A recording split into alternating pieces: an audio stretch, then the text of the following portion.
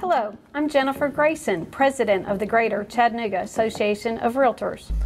And I'm Dan Griess, President of the Chattanooga Area Multiple Listing Service. We're here today to bring you our report on the local home sales marketplace for the month of October 2011. That's right, Jennifer. I can tell you that the local real estate market experienced a mild lag following positive quarterly figures in both numbers of homes sold and median price, according to the data we've just released.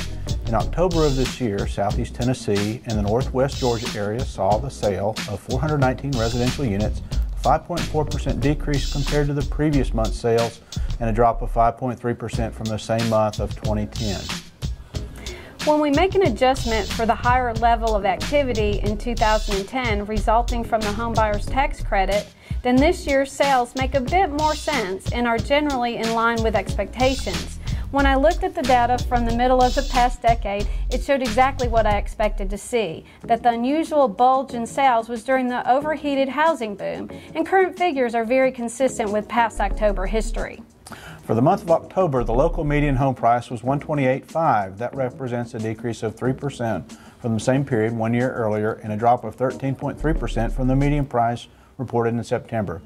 While there was a slight decrease in the median price, I don't see that as a threat to homeowners' equity, but more likely an indication that sales within that particular price range are witnessing an increase in demand.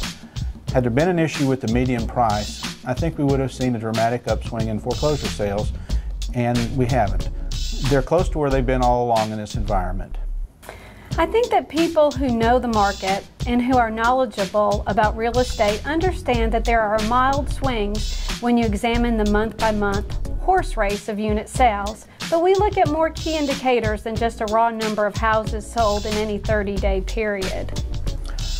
That's very true, Jennifer. We've done a good job of chipping away at the high inventory of a year ago to where we are now looking at 12.6 months of inventory in the MLS system. Add to that the fact that days on the market have dropped since last month by almost two weeks from 145 to 133, and I'd say we're right where we expected to be at this time of the year. I'm Jennifer Grayson. And I'm Dan Griess. Thanks for joining us today for the Chattanooga Market Report for the month of October. See, See you, next, next month. month.